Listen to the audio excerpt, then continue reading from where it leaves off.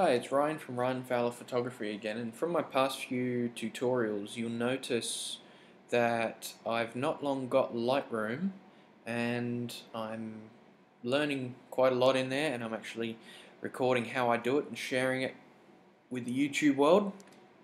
And this one I'm going to actually show you how to uh, tether your camera to your computer through Lightroom, which is a pretty handy little trick to know. Um, so all I'll do is I'll go up to File in the top top screen and come down here to Tethered Capture and that was just my test session that I put up. Normally it would put just Studio Session.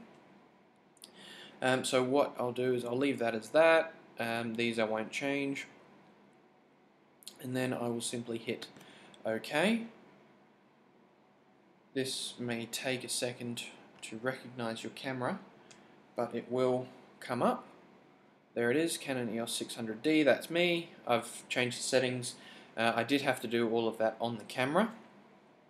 Um, but what I'll do is I'll take a quick test shot, um, one using my camera and one using the actual computer because you can actually take shots. So all I'll do is I'll line up my shot, aim it at my subject, take the shot, and then that will instantly go across so that's just a glass that's sitting on my table. And now if you've got all your settings here you've got them all set or instead of actually hitting the shutter button on the camera all you can have to do is click the capture button. Oops.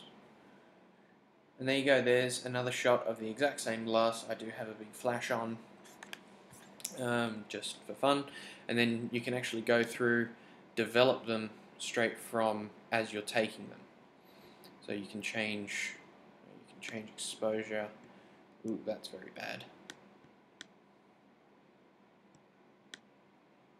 Add a bit of contrast, drop the highlights, increase shadows, whites, blacks, whatever you want to do. That's a pretty artistic effect. So that is how I um, learned how to tether my camera. I do have it in full manual mode. to stop, all you do, go back up to File, next to Lightroom. I am using a Mac. Come down here to Tethered Capture. Just hit Stop Tethered Capture.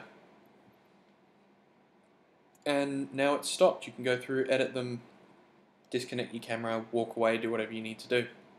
So there you go.